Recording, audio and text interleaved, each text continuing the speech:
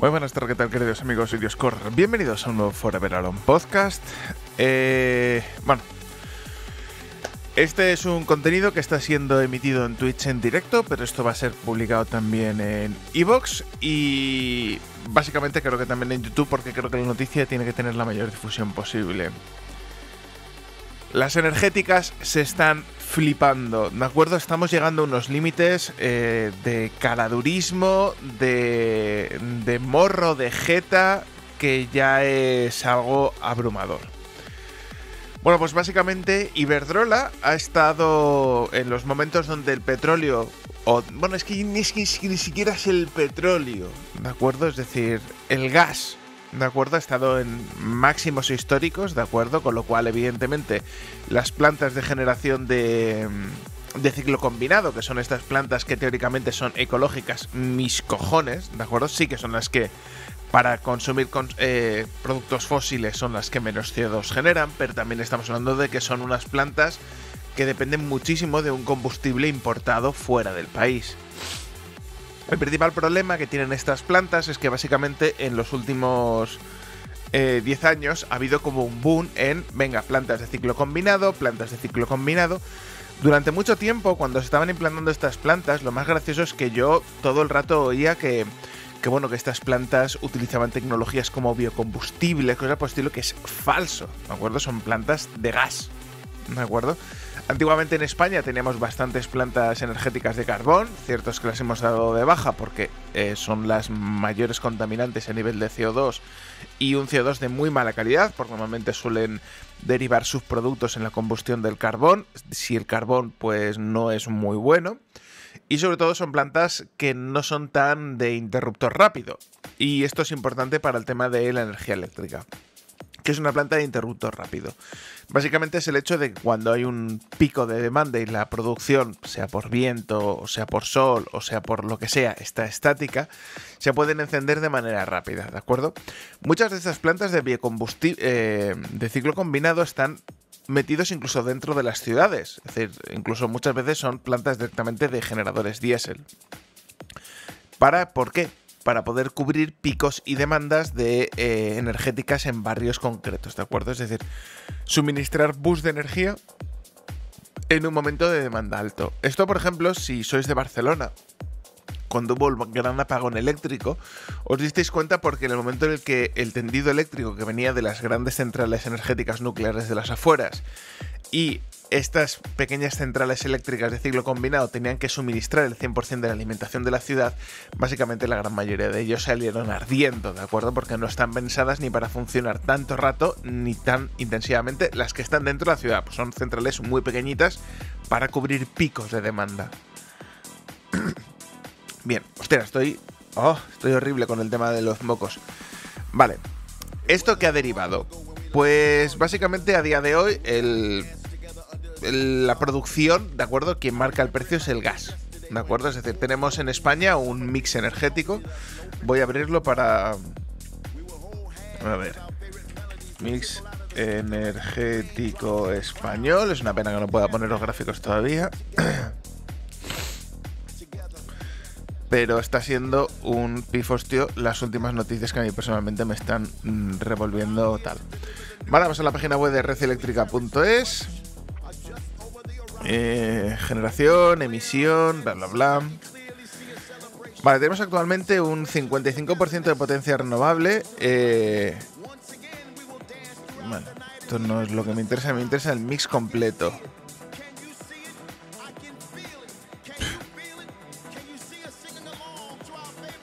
Ojito, exportamos 83 eh, gigavatios de energía e importamos 70.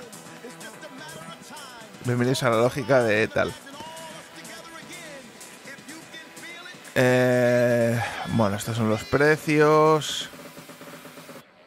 Mm, vale, esto es el pico del día, balance. Eh, yo creo todo el precio de todas las fuentes energéticas. Vale.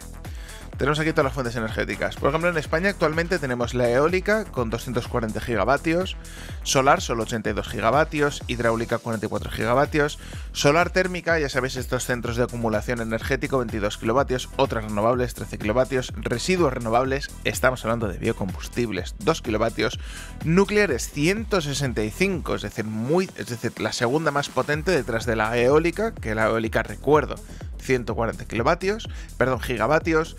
Eh, luego tenemos ecogeneración, ¿de acuerdo? Que son 67, que son estas centrales que sí eh, gastan eh, gas y gastan un poco biocombustibles, ¿de acuerdo?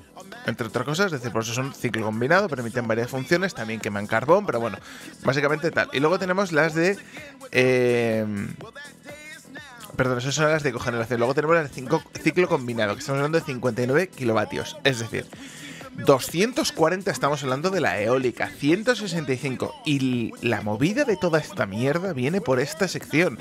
59 del ciclo combinado, ¿de acuerdo? Que son estas centrales que funcionan principalmente con gas.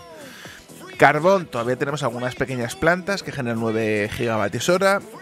Residuos renovables 6 gigavatios, que imagino como no sean plantas de quema de gas de metano a base de, fermentación de productos residuales. Y mm, tenemos por solo 2 gigavatios de turbinación de bombeo, que básicamente es cuando hay excedente energético, en vez de exportarlo, inyectar. Es decir, subir agua a niveles, es decir, básicamente que un estanco recargue un estanco que está más arriba, es decir, gastando energía eléctrica para mover el agua hacia arriba, para luego dejarla caer y que entre dentro de la energía hidráulica, ¿de acuerdo? Em, claro, eh, ¿cuál es el problema? Todos, es decir, el precio de mm, todos los precios, mira, por ejemplo, el consumo de bombeo para generar dos, ¿de acuerdo? Ha consumido 21. Es, está. Es decir, es eficiente poco, ¿no? Lo siguiente, es poquísimo eficiente. Consume 21 gigavatios para generar dos. A ver, Estamos hablando de que si viene de generación eólica es corriente gratis, es decir, solo es gasto de infraestructura, con lo cual, pues, a ver, merece la pena, es un condensador. Y sobre todo estamos hablando de que es energía gratis, ¿de acuerdo? Tanto la generada como la gastada para generar, porque es aprovechar excedentes, eficiencias energéticas, eh, sinergias, ese tipo de cosas. Información que creo que es bastante más importante y que deberíamos de entender. Vale. El precio del uranio a nivel centrales nucleares no ha subido. ¿Me acuerdo? Es decir, sí que España es muy dependiente de pagar una cantidad de multas a Francia de la hostia porque somos muy espabilados y no queremos tener nuestro cementerio nuclear y estamos usando los cementerios franceses. Y Francia dice, oye, que yo bastante tengo siendo el país con más nucleares del mundo, que tengo que tener mis propios residuos nucleares, no seis jetas y hacerlos vuestro propio banca, ¿no? yo, yo si quieres os lo alquilo, pero lo voy a alquilar a precio de oro. Y España es subnormal y lo hace, vale. Teniendo en cuenta que cuando salgan las centrales de próxima generación todo ese residuo nuclear va a convertirse en combustible reutilizable con un proceso de refinamiento avanzado, pues digamos que, bueno, es dinero que el día de mañana nos puede incluso volver. Es decir, Francia nos puede pagar por nuestros residuos nucleares porque Francia podrá explotarlos y nosotros no.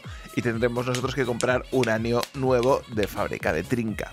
Aunque teniendo en cuenta Francia las colonias que tiene, colonias, guiño, guiño, comillas, comillas, en África, pues vamos a decir que tampoco es que necesite comprar uranio a precio de mercado. Pero bueno, vamos a ponernos en ese sentido. Vale. Actualmente estamos pagando unos sobrecostes energéticos enormes. ¿Y cuál es el problema de todo esto? Eh, estamos hablando de que lo más contaminante, es decir, eh, ecogeneración, ciclo combinado, carbón, eh, posiblemente es solamente el, es decir, bueno, bueno, literalmente, es decir, excluyendo de las no renovables, quitando la nuclear, todos los demás ciclos, todos los demás que consume combustible, no llega a la mitad de lo que es la nuclear. ¿De acuerdo? Es decir, una cuarta parte, bueno, bastante menos de una cuarta parte de todo el mix energético que tenemos, es quien marca el precio.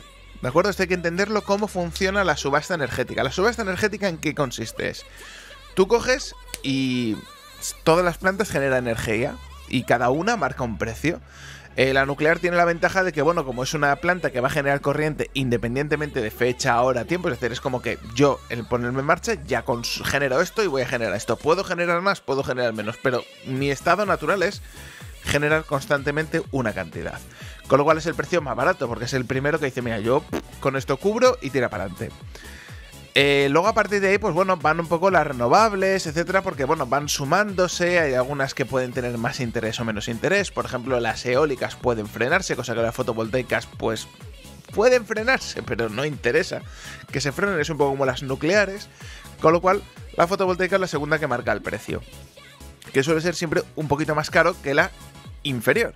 De la eólica, que suma precio, pero claro, también la eólica, pues hasta cierto punto puede también generar más, generar menos, siempre en condiciones de viento, o al menos en condiciones de viento puede parar producción. Porque una cosa es el potencial instalado y otra cosa es la producción real. En fotovoltaica eh, se puede parar la producción, pero realmente no compensa.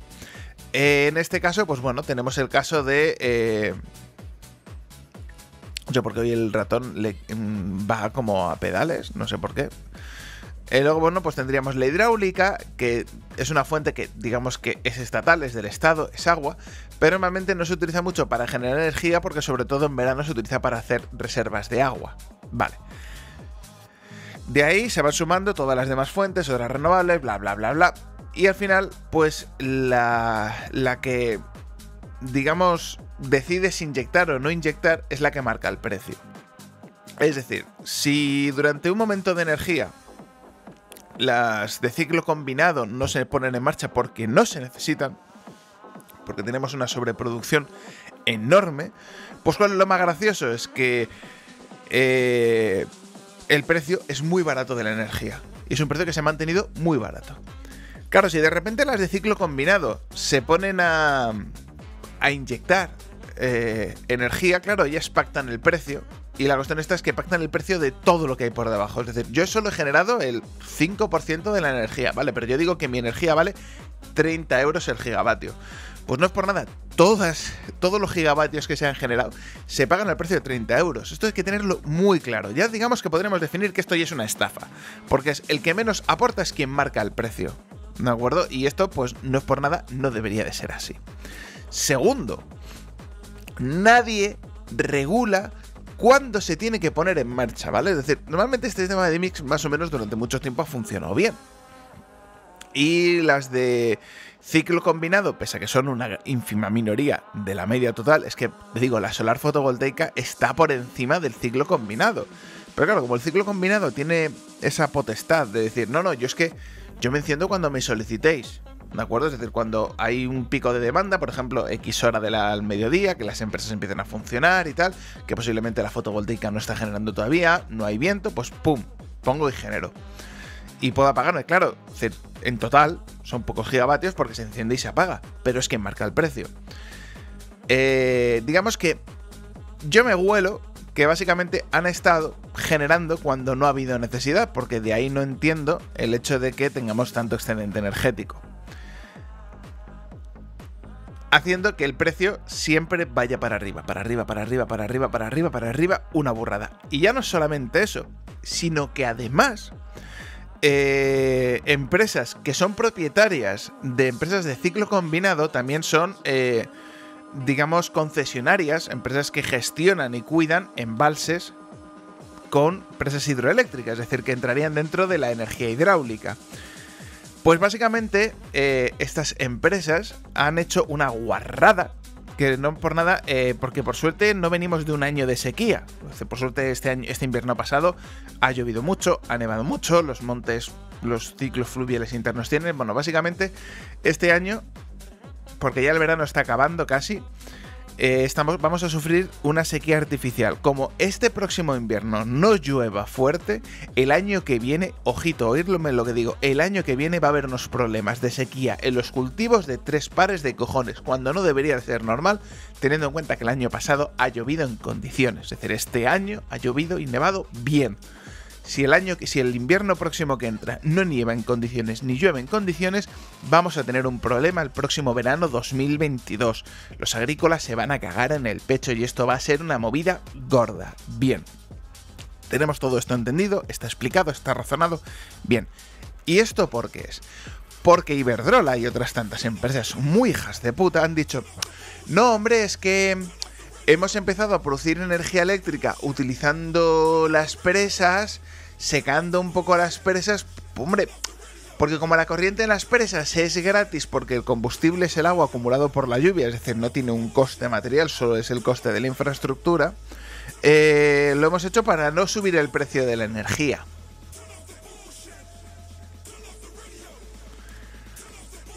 Eso ya podríamos decirlo que, es, es turbio, porque no está auditado. No se sabe si realmente... Sino ya la movida es que las presas de Galicia, Galicia digamos que tiene muchas micropresas, igual que Cantabria, es un clima, pues una zona muy montañosa y muy pocas zonas donde acumular grandes masas de agua. Con lo cual, básicamente lo que tiene empresas es alto desnivel, ¿de acuerdo? Eh, si alguna vez vais por Cantabria o Galicia, es posible que veáis unos tubos gordos que pasan a lo de una montaña, eh, pasando por encima de carreteras. Vale, esos son presas de alta velocidad. Básicamente es corrientes de corrientes muy pequeñas de agua que bajan a mucha velocidad y generan bastante energía. Pues lo más gracioso es que eh, empresa concesionaria en Galicia, no sé si era... Em, ¿Cómo se llama esta leche? Eh, Acciona, quiere demandar al gobierno gallego porque le, le, han prohibido. Claro, Galicia, ¿cuál es el problema? No tiene grandes reservas de agua y Galicia ha dicho, como vaciéis agua de los embalses, os reviento, porque es decir, nosotros no tenemos un buffer de agua, es decir, y nuestro terreno es malo, es decir, dependemos de esa agua para poder beber. Eh, básicamente le está pidiendo eh, esta empresa energética que indemnice por los beneficios que no gana por generar corriente ahora que está súper cara. Claro, si yo tuviera un embalse y pudiera generar corriente al precio que se está pagando, claro, decir, a mí la corriente me cuesta X. El gas marca el precio. Yo si la genero con lo mío me están pagando una pasta por una cosa que antes no me lo pagaban. Entonces son beneficios no ganados. Podemos entender que la liberalización, la privatización, este tipo de cosas de, de las energéticas no tiene puto sentido, ¿de acuerdo? Es decir, el funcionamiento de la empresa con un bien primario, sobre todo ya no es la energía, es el agua de acuerdo, estamos hablando del agua, un recurso que no pertenece a nadie. Vale que hay empresas como... ¿Cómo se llaman estos? Los de... Ah, no me sale ahora. A ver, ¿qué quiero poner? Esto. Es decir, que hay empresas como eh, Nestlé que quiere privatizar el agua, eh, que no haya agua en los grifos, sino que sea todo botellas embotelladas. Es decir, que el agua se utilice pues para fregar, lavar y ya está. ¿De acuerdo? Es decir, pues yo lo. Mira, son normalidades, pero ya estamos hablando de reservas hídricas. Es decir. ¡Ah! Es decir, no, no, no es por nada. Es decir, esto lo que ha pasado es una puta borrada. Es decir, es es brutal, sinceramente. Esto es una cosa muy grave, jodidamente grave. Y creo que es una cosa que deberíamos de tomar puta conciencia ya.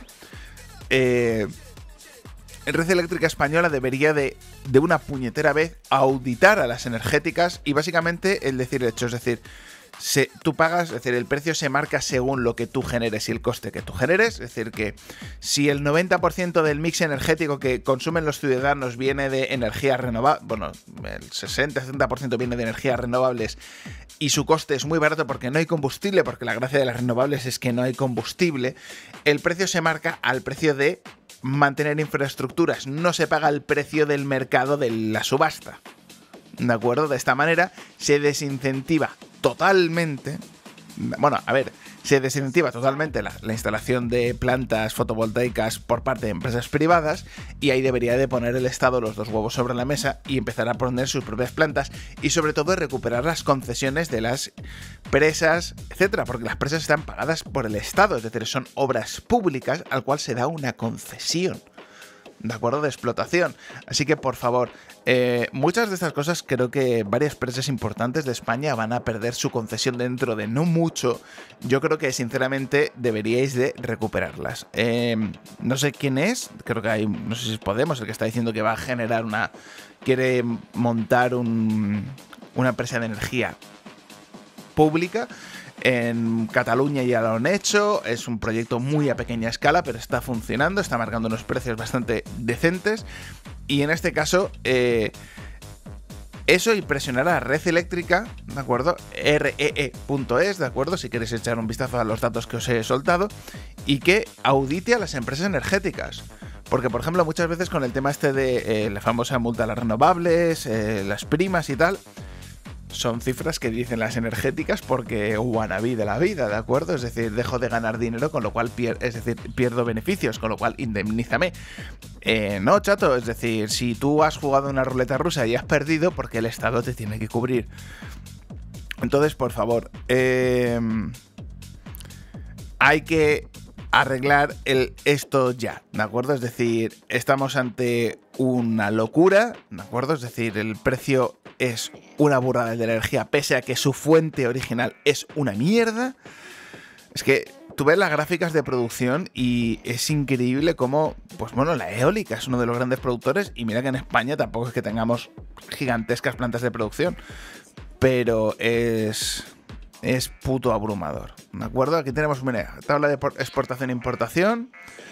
Eh, Portugal es uno de nuestros mayores compradores de, energía, ¿de acuerdo? Por ejemplo, a Portugal le hemos importado un 22% de nuestra.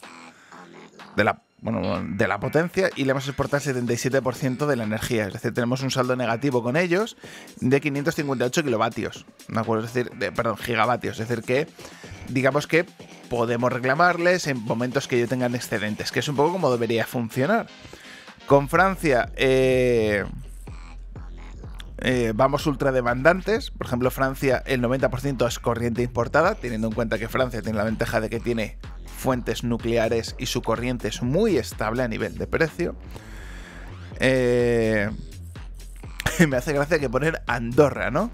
Eh, saldo 4 gigavatios, 100% exportados. Es decir, Andorra no es comprar la corriente, solo compra corriente.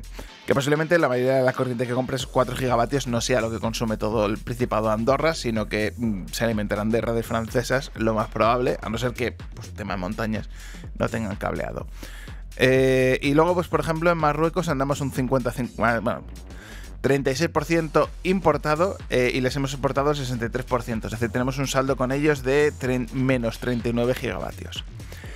Ojito con Francia, que el saldo de corriente que les debemos es 1200, 1228 eh, gigavatios. Es decir, es, mucha energía. Lo que. Es decir, es mucha energía lo que le compramos a Francia. Y aún así, posiblemente la energía que venga importada de Francia sea mucho más barata que la que estamos pagando, simplemente porque aquí quien marca es el gas.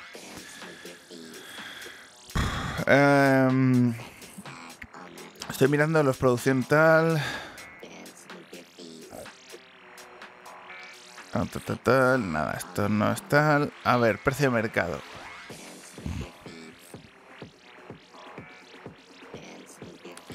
El precio de mercado está a 92 euros el megavatio. Hostia, 92 euros. Hostia, es mucha pasta, ¿no? Servicios de aguja, no sé qué. Ah, coste del servicio ajustable, 60 y tantos. Valoración. No puede ser. Es que, a ver, según esta tabla de gráficos, básicamente lo que yo he regalado de Iberdrola, básicamente son unos 400 euros a lo largo de este año. Así que. Ay, Dios mío. Bueno, eh, con todo esto, básicamente, eh, por favor, primero, es decir, esto no lo van a arreglar los políticos. Es decir, no. O, es decir, o yo digo, va a haber una gran movida. si no, te digo, si no nieva, si no nieva y llueve este próximo invierno, va a haber una gran movida con el agua por, el esquilmado que han hecho, que es que es cantosísimo. Es decir, es, decir, lo que han hecho ahora es que no es por nada, pero mm, literalmente es una burrada, ¿de acuerdo? Es, decir, es algo que está totalmente fuera de lógica. Vale, pongamos ese caso, ¿no? De que está totalmente fuera de lógica. A mí personalmente me mata. Eh, qué va a pasar mañana. Vale. Eh, los políticos van a ponerse las pilas con el tema este de auditar las empresas energéticas y verificar si realmente el coste del gas es lo que toca y sobre todo marcar el precio no al precio de, la fuente energética minoritaria y más cara, sino de la fuente energética en conjunto de media. Ya, ya no te hablo de que por minorizada de cada fuente que a día de hoy se podría hacer, sino es el hecho de que se haga una media ponderada no va a darse el caso, ¿de acuerdo? Con lo cual, eh, sinceramente, el precio de la energía va a seguir, seguir subiendo. ¿Por qué? Porque el gas cada vez sube y sube más de precio, ¿de acuerdo? Es decir, a no ser de que haya una tecnología irruptora donde se pueda generar gas de buena calidad, con una buena combustión, como el gas natural, eh, de fuentes renovables, sea pues mm, biocombustibles, eh, degradación de ciertos productos, mm, manufacturación de algas, igual que ya se está hablando de crear petróleo artificial a base de algas, que curiosamente, pues lo más gracioso es que la brea o lo que es el petróleo puro, la gracia esta es que este al ser creado artificialmente es muy limpio, ¿de acuerdo? Tiene muy pocos residuos, con lo cual sí, producirlo es caro, pero para el producto final, es decir, para generar combustible, etanoles y derivados, es muy barato, porque al ser una fuente muy controlada, ¿de acuerdo? La producción se puede escalar y evidentemente los procesos de purificado del, combustible del petróleo se reducen enormemente, con lo cual al final el producto final, su coste es parecido, ¿de acuerdo? Lo único es eso, que todavía estamos en proyectos a pequeña escala. Eh, curiosamente, España es líder en estas tecnologías de creación de cultivos de algas a gran escala. Además, son eh, fuentes absorbedoras de CO2, que evidentemente luego van a ser convertidas y consumidas para generar combustible. Con lo cual, pues bueno, digamos que podría tener una huella de carbono cuasi cero. ¿De acuerdo? Porque sí, absorbe mucho CO2 para luego generarlo. Pero bueno, si los coches cada vez se vuelven más eficientes energéticamente y sobre todo estos coches que funcionan eh, de combustión puro oxígeno, es decir, no de aire, sino de oxígeno, con lo cual la combustión debería ser eficiente uno a uno, pues se podrá conseguir eh, cosas bastante más que interesantes. En general, poneros placas solares ya, ¿de acuerdo? No es porque es mi trabajo nuevo, sino porque es algo que mm, a mí personalmente me interesa y es que no es por nada las burradas que se están haciendo por aprovecharse del, del precio de la energía a día de hoy, personalmente creo que es un insulto para la raza humana. Y por Dios, esperemos que este año llueva. Y recordar esto, si no llueve, y tenemos una movida gorda, ya sabéis quiénes son las putas culpables. Si los agricultores se quejan de que hay sequía, ya sabéis a quién puto acusar.